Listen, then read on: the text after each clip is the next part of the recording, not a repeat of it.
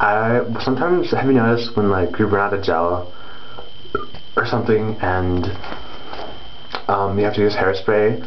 Like when you spray your hair sometimes it doesn't even smell like hairspray it, sm it smells like that like I don't know. You know when like you spray it and like nothing comes out but like that weird air?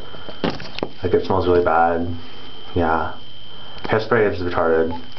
Use gel or like mousse or like something even to the girls like big hair is not really that cool except for Amy Winehouse. But she's kind of like whatever